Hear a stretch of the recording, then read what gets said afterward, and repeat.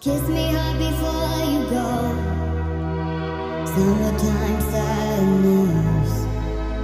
I just wanted you to know that baby.